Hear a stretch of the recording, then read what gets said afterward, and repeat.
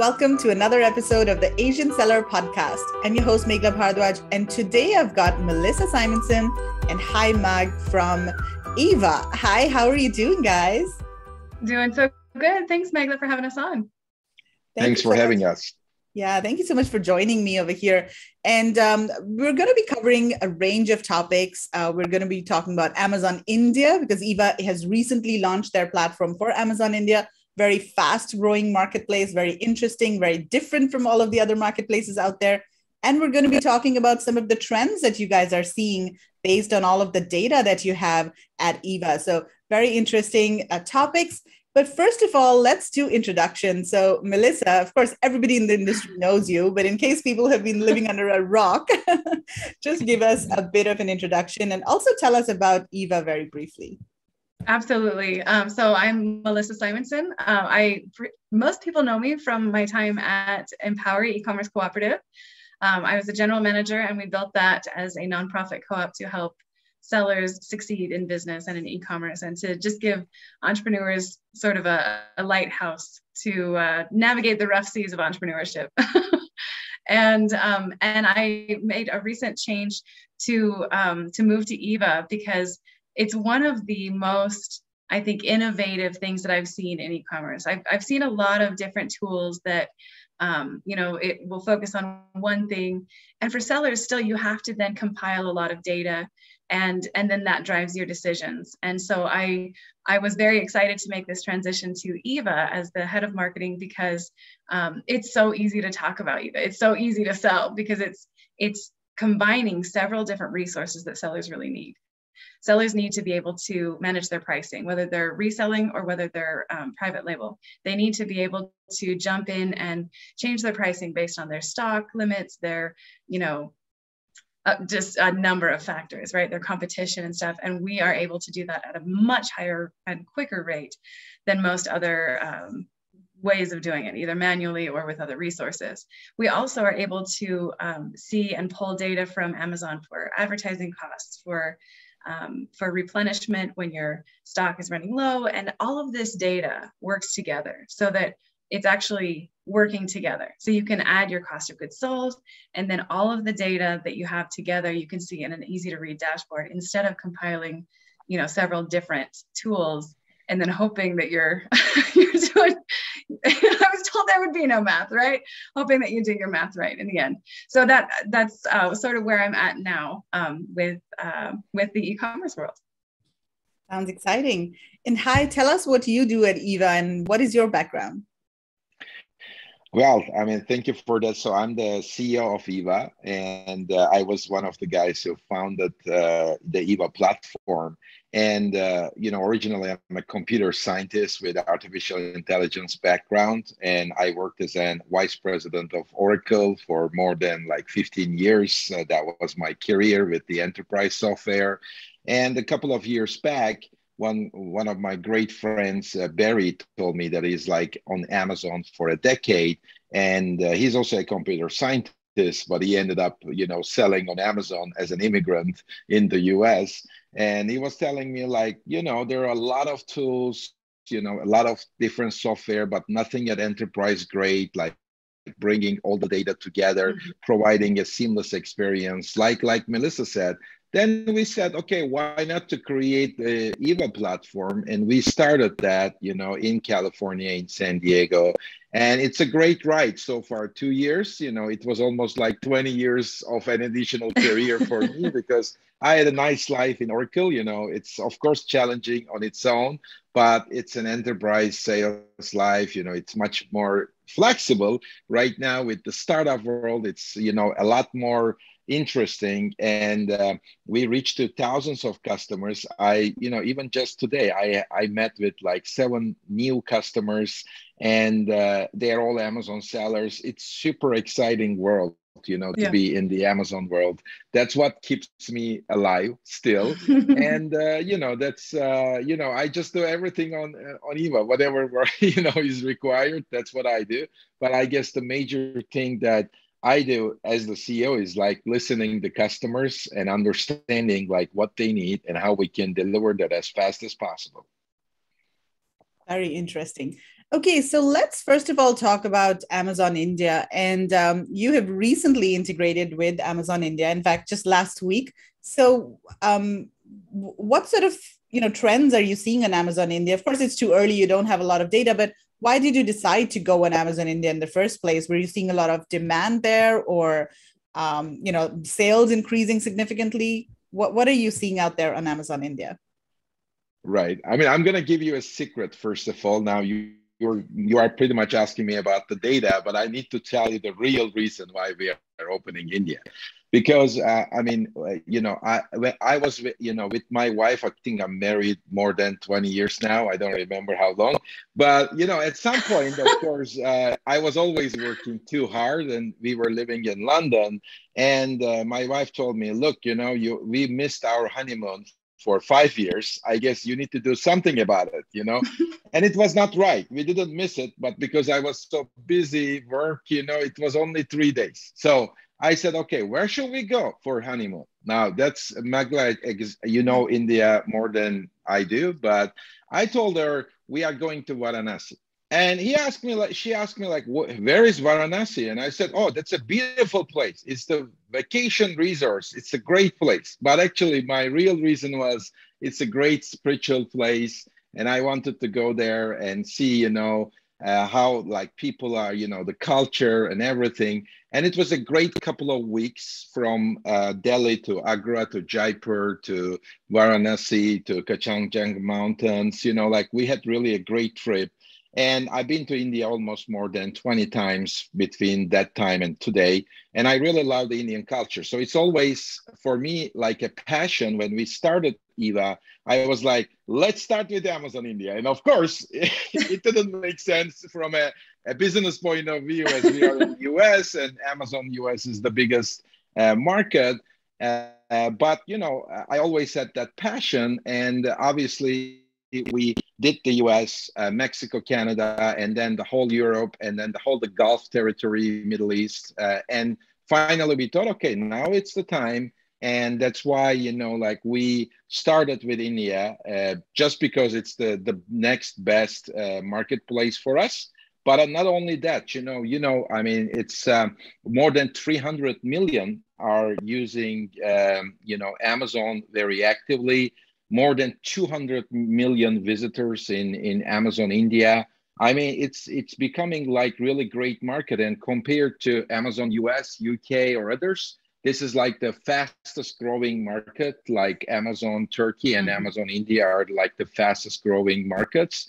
And uh, very interesting, but like US, there is something very similar. Like Amazon is also a little bit, let's say, competing with uh, like Walmart, yeah. let's say, because like uh, you know, Walmart has a, has a company uh, over there as well, you know, kind of acquired, but the Amazon gro- growth is much faster, mm-hmm. and uh, I'm just like seeing that is really. Uh, changing the way the business is is is doing, you know, is done in, in in India, you know, with the e-commerce, uh, and you know, in many ways, the e-commerce is even much more advanced compared to rest of the world, uh, although it's an emerging market. But a lot of people use their mobile phones. They buy things from um, from the e-commerce marketplaces. I mean, there are like a hundred reasons why we should be in India, and we are now well, in India. and I I know that you know in in 2020 they published that the the increase in revenue from the previous year was 42% higher. And then they were projecting, and now, of course, they don't have final numbers for 2021, but they're projecting it will be 50% higher than the previous year. So, I mean, that's really significant growth.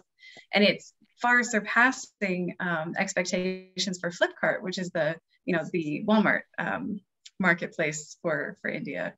So that's a, a pretty significant reason to keep our eyes in that direction. exactly. Yeah, it's growing really fast. And they have this um, great Indian festival which is sort of similar to Black Friday, Cyber Monday, or maybe Christmas sales um, in India. And uh, that's around the festival of Diwali around October, November. And that has also been record breaking this year. So, mm. yeah, quite interesting. But I think in terms of um, the competition in Amazon India, it's a lot more than Amazon US. And it's a very price sensitive market. Mm. That's what we found um, you can really make a profit on volume. So if you're selling in high volumes, um, and if your pro- product is uh, well priced and it's competitively priced, then you're going to be, you know, be able to make a profit. Um, but otherwise, it's very competitive. It's very price conscious. So that's something that people need to keep in mind if they want to sell in India. And of course, the types of products that sell in India are very different from the types of products that sell in the US. And sometimes I see people, you know, Amazon sellers in the US, they say that, oh, I've got this really good brand that I'm sourcing from India, selling in the US market. Let me also sell the same products in India. That does not work because the mm-hmm. products that you're sourcing for the US from India are for the US market. They're specifically for the US market, the price points, the colors, the types of products. But if you want to sell on Amazon India, you've got to understand what products are really selling there. And that's why I think a tool like Eva is so useful because if you're not based in India, there's no way you can tell what's selling and you know what kind of um, um, metrics people are seeing and what kind of profitability, et cetera, is there. So I think your, your tool will be very useful for that, especially if somebody is overseas and they want to sell um, on Amazon India. Um, another thing I think, Hai, you mentioned mobile shopping, and that is huge in India. And um, a lot of people, you know, maybe in the second or third, third tier cities, they don't have access to computers or laptops.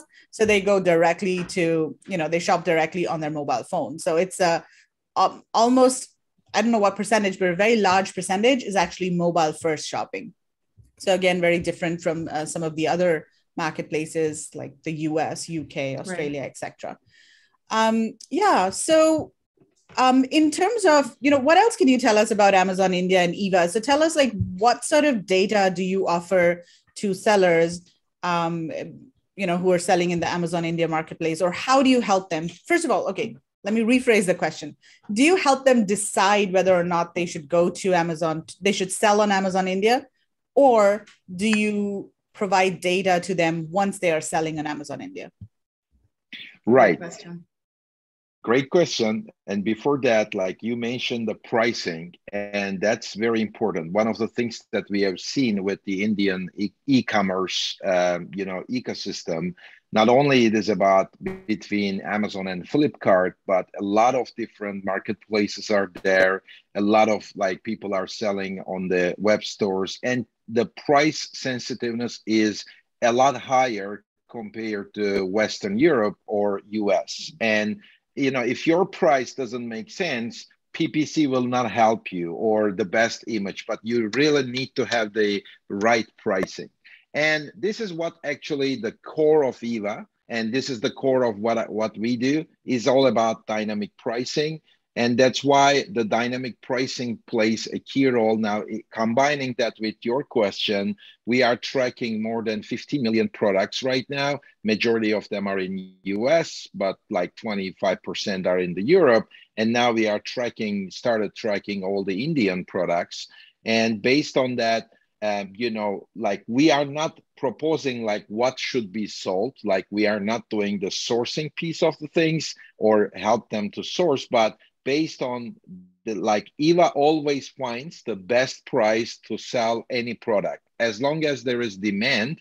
Uh, you know, defining the product price is something that I don't think it is possible to do manually. The best way to do it is like based on the data and that's where the artificial intelligence comes into the picture because there are so many factors that are impacting the price from seasonality to the competitors to similar products to uh, demand and the trend and the category related uh, information. And that's what needs to be incorporated to find the next best price for tomorrow. And that's what we think is the is why eva will be a great fit. And that's also the number one thing that the uh, Amazon Indian sellers need the best uh, pricing platform for uh, running their Amazon business. And I, I want to add a little more for specificity. Um, once people have their store, then we can pull the data, and that's how. So we get started with them once they connect their store to us. So they're it's established. Um, they are established sellers so they don't have to be like a year in or have a certain um, you know level of expertise or anything, but they they do need their store to connect to the, the platform. Okay, that makes sense. So in terms of dynamic pricing, um, how does dynamic pricing affect sales of the product? Does it actually help improve sales? And how does it affect profitability as well? Because if you know the price goes down, then of course your profitability also goes down. But how do you sort of balance sales and profitability while managing in dynamic pricing? That's right. Great question. Um, and there are maybe two different uh, ways of looking at it. Number one is like from resellers' perspective in the Indian marketplace. If more people are selling the same product at the same time, I mean it's similar in US or in Europe, then the major, the most important thing to do is like to win the buy box. And the buy box is that yellow button, like people, you know, click to that buy now button and they they buy the products. Now, statistically, if if there is no buy box, if you are not the owner of the buy box, then most likely you can only do 30% of the sales because 70, 80% of the sales is going to the buy box owner. So winning the buy box is the key, uh, you know, key way to increase your sales. So what we do in Eva is to make sure that the sellers win the buy box. That's the number one thing. Now, number two thing is let's assume you own the buy box, you have the best price. What if like maybe you can test a price point which is higher than your price, which means that you can increase the profitability because you can even sell the same item with a much better price, but you still own the buy box. And that's where we are maximizing the profits. And that's where EVA is also differentiated because it's all about winning the buy box and increasing the prices uh, so you can still sell the same products with, but with higher profitability. So that's the, the essence of the work for the resellers. Now, for the brands and the private labels, it's a totally different story because most of the private labels, they own the buy box 95%. Now, there is some 5%, but that's still important if the buy box is suppressed by Amazon. For example, for some reason, let's say the Flipkart price for the same Amazon seller selling a product on Flipkart for uh, let's say 10 rupees, and on Amazon it is it is 15 rupees. If that is happening, then Amazon will suppress the buy box. Why? Because the Flipkart price is much cheaper. Now, if that happens, that to take the price down and to get the buy box is still important for the private label. But that's only one of the things. The major thing for a private label is how the demand will, uh, you know, kind of, you know, kind of influence the price. For example, if the demand is increasing uh, for the last yesterday, maybe last week, last month, last quarter, last year, as the demand is increasing, the price should increase. Why? Because there is more demand. If the demand is decreasing, the price should decrease. If the inventory is decreasing, then most likely the, the, the brand owner wants to protect still the out of you know the, the the sales but it is okay to sell less and make some more profits because in any case you're going to be out of stock. So if you're not able to restock your items. For example just the data. Last year q4 we had 400 sellers using uh, the inventory based pricing. They were able to make 25% better profits during Q4 as the inventory was going down and there was no way to restock the items because it was not possible as the Christmas was approaching. So the prices went up and they were able to make more money at least, and they were able to avoid or delay the uh, stock out issue. So that will be another reason. Now, what about similar ASINs? Like one of the things in India that I've seen, a lot of people are selling very similar products. Now, all these similar products, maybe, you know, there is a one product which has a lot of ratings and you're just launching your product. So you want to be always 10% cheaper than your competitor, which is not the same ASIN which is also very important, I think, for the Indian marketplace to have some rules or some setting where your prices do not exceed your competitors, or maybe you want to be always higher than your competitors because you have the best ratings or best reviews, and you don't want to waste, uh, you know, profits because of that. So these are all possibilities that can be done with dynamic pricing. That sounds very interesting and very, um, very useful. So um, Amazon also offers dynamic pricing, right? I mean, they have their own tool to to do that. So how is Eva different from the tool that Amazon offers? And you know, what are the advantages of using Eva instead of Amazon's own dynamic pricing?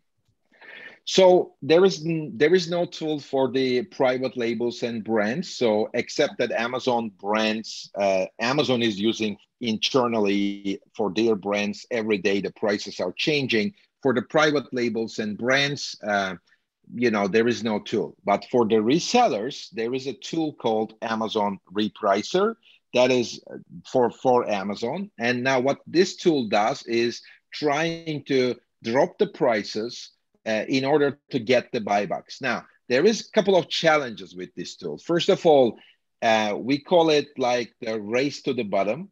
Unfortunately, this tool is like, and it's good for Amazon, good for the marketplaces in general to have a race to the bottom because at the end of the day, the marketplaces care about having the lowest uh, price as possible because that's one of the main reasons why all the consumers go into marketplaces. But it's not always the best thing for the seller just to get the the buy box but then each time somebody is like dropping the price drop the price again drop the price again and finally it ends up like making no profits the biggest thing with the uh, with the eva ai or an ai suite is like not only winning the buy box, but trying to increase the prices all the time rather than decrease the prices. And sometimes, like for example, uh, it is not always like dropping the price, but sharing or matching the price. And maybe the competitor is also matching the price. So there is no need to uh, decrease the price anymore. And all these things are more like kind of like playing a poker. That's what the kind of the uh, the AI machine is doing, like trying to see if the competitors are dropping the prices or matching the prices, and based on that, always maximizing the profits. But that's for the resellers. Okay, that makes sense. So let's also talk about Q4. And um, we're, of course, still in Q4 and Cyber Monday. It's, is it still Cyber Monday? Yes, it is. I can't believe it is still today. Yes. But what sort of trends are you seeing this year for Black Friday, Cyber Monday? Um, we were talking a bit earlier before we started recording, and um, we're seeing slower sales for some sellers in our community and my own brands as well. I mean, not as high as they were last year. So there is sort of a dip in sales, or maybe some people are saying that the growth rate is is lower than it was in 2020. But what are you seeing? Because you have so much um, you have access to so much data in Eva. So what sort of trends are you seeing? Would be interested to know that. Melissa, you want to go ahead or?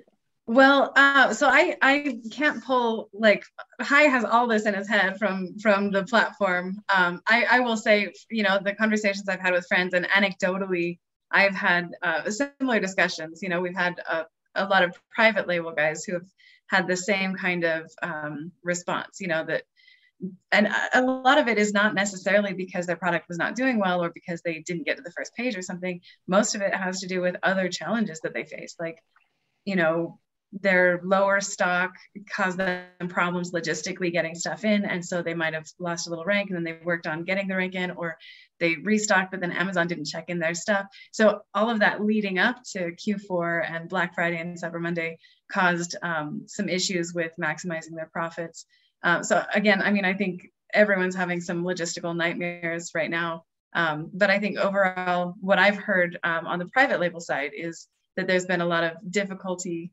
um, you know, max maximizing their profits. You know, I, I, think that most of the people I've talked to have had decreased profits from last year, or like you said, decreased growth. You know, an expectation that it it would increase year upon year um, that was not met. Right. And you know, internally in in Eva, like they call me also H.AI, which is AI, but also the H with artificial intelligence. So I have all the data in my mind, you know, I already keep that data. So, and one of the things, you know, like looking at more than 15 million products uh, results, what I can tell you, first of all, some of the things that are uh, becoming really like the, the business is becoming tougher because the advertising costs increased like 28%, and especially in the last couple of months. Uh, and I think that the trend of increasing increased advertising cost will continue in 2022. Probably another 20% increase. Every brand uh, owner should expect, which means that optimizing the cost of advertising, but not only that, the optimizing the overall cost will be important. Number two is we have seen so many um, IPI issues with a lot of sellers. Like uh, it's the um, you know the inventory performance uh, scores basically on the Amazon side, uh, which is kind of a hidden algorithm. But at the end, the end result is it is hard to replenish the stock. Let's put it in this yeah. way, because Amazon gives uh, you know a certain amount of units uh, to replenish. Now, if you're a new seller, it's not a problem for you. If you're a super uh, top seller, it's not a problem for you. But if like all the sellers between, let's say, 20K to up to maybe 500K a month that they are doing, they all have some challenges with the IPI, the performance index, and the replenishment related issues. And uh, back to the Black Friday uh, we haven't seen a, a, you know like a huge growth. Like i don't think we're going to be seeing like still the data is in analysis because it's that we are still in that uh, period. But i think that compared to last year the the data shows me that it is less growing like growing yeah. less than expected. And i think that one of the other thing is the supply chain issues. So combining and i don't want to talk about the supply chain issues but in general like the cost of uh, you know, shipping and warehousing maybe increased by another 20, 25%. Now adding the replenishment challenges, supply chain challenges, and advertising challenges. One of the things that I have realized is like the sellers are also not doing a lot of promotions, and uh, and based on that, like also the the sales is not going, uh, you know, super up, and because like I see less flexibility in terms of the deals uh, that are promoted you know like and that's uh, maybe another reason why it's a little bit slower than last year. Mm. right. Makes sense. Um, so going into 2022 what advice do you have for um, sellers for amazon sellers specifically? What are some of the areas that you think they need to focus on in order to be successful in 2022 who wants to um, I'll, I'll jump in. I think that it's going to be even more important than ever to do, you know, to optimize your listing so that you get more organic than uh, because the, like I said, the advertising costs are going to continue to rise.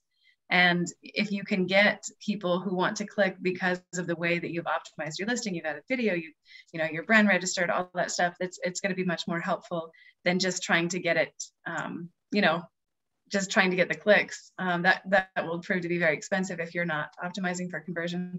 And then also you know there's something to be said for actual branding right? You know if you are taking the time to, to actually do branding and you know packaging and you know not just sell a product but create a brand then i think that's going to be much more beneficial to sellers going forward than it has been in the past. You know, the, the world of e-commerce is changing a little bit, and certainly the wild west of e-commerce and Amazon is um, is an ever-changing world. So all of the changes that Amazon is is bringing about is it makes it more challenging, but I also think it helps sellers refine. You know, you pivot and you um, you refine what you are doing based on the needs of the marketplace and based on the needs of the customers. And as that is changing, I think it's a great opportunity for sellers to pivot and refocus on the things that will help them organically so they're not paying so much.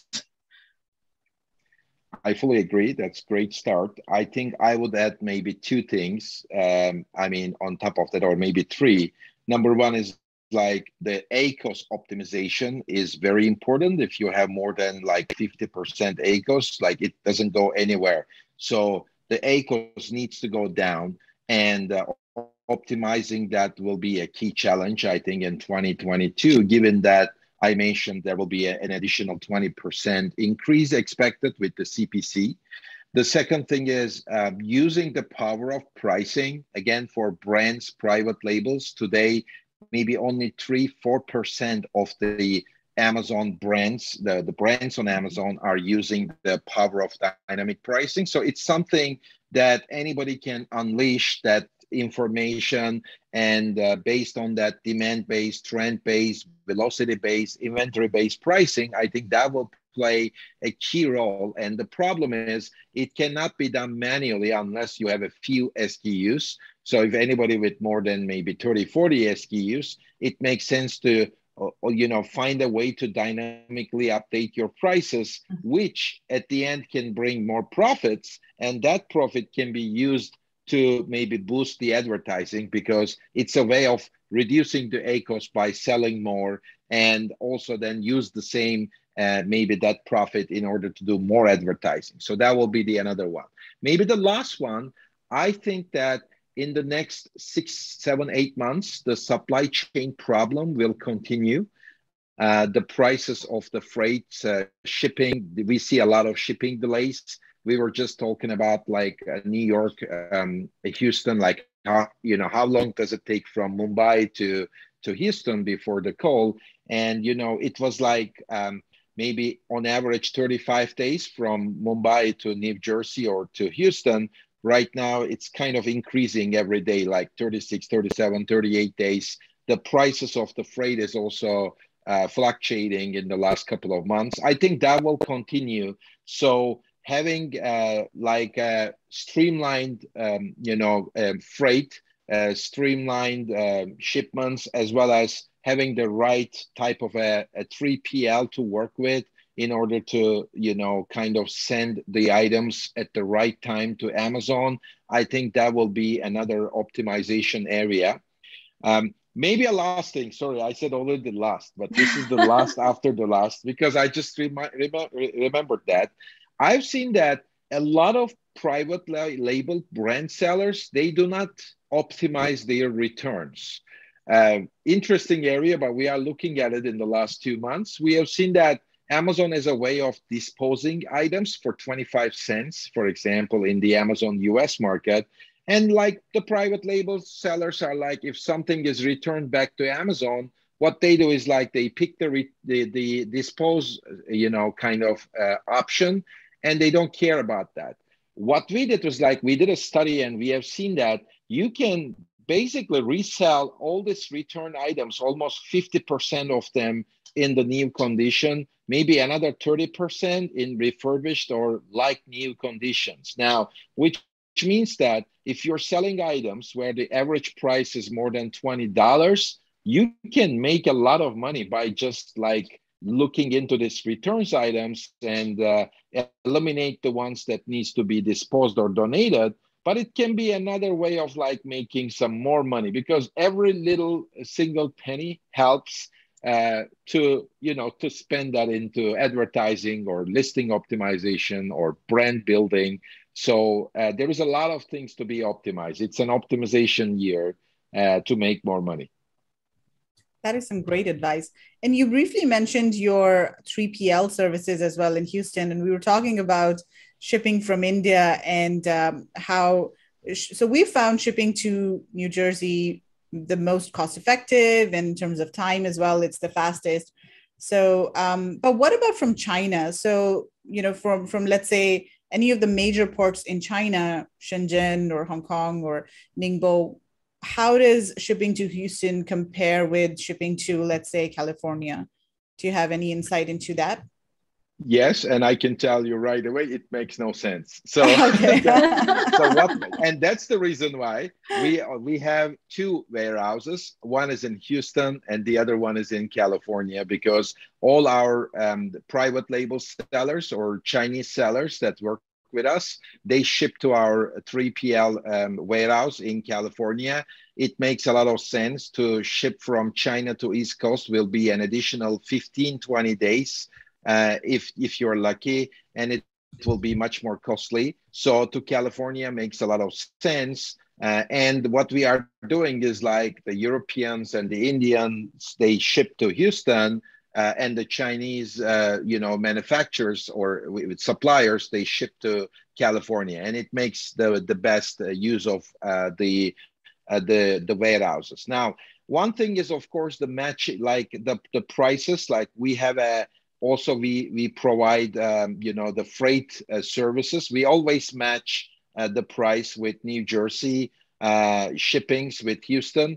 The reason why we decided to do it in houston is because that helps us to make the 3pl service much cheaper. It's typically 20 30% cheaper compared to new jersey delaware area. And uh, we already match the price in terms of freight so it makes a lot of sense. But even beyond the price, because price is always the number one thing, but the number two is how to make sure that you know the 3PL is doing the job right, meaning that if do they really have the right tools, for example, when to restock, what items to restock, and this is where I think there is a lot of intelligence that can be used, uh, especially if it is artificial. It will be also cheaper and better because what we are doing is like we have a replenishment forecasting system in our warehouses and it's used for free by our warehouse staff as well as uh, the amazon sellers but they can easily see what needs to be restocked every week based on not only out of stock but also uh, based on the profit velocity. So we restock the items which are the most profitable first without you know ignoring the ones which are going out of stock. So there's an optimization algorithm there but it works autonomously because all the data is already there you know? There is no need like for a human just to say oh i need to restock five units from this product x because the data is already there. So my dream in 2022 for eva is to make the whole 3pl completely autonomous so once you send all the stuff from India, for example, to our Houston warehouse, you don't need to worry about like when to restock. We just need to worry about maybe sending another shipment from India to uh, to the warehouse, maybe three months later, six months later. But the stock will be auto- automatically replenishing the the the stock from 3PL will automatically replenish the Amazon FBA stock which we are able to do. I'm not sure if anybody else is able to do that. That's kind of a unique experience that we want to provide to the Amazon sellers.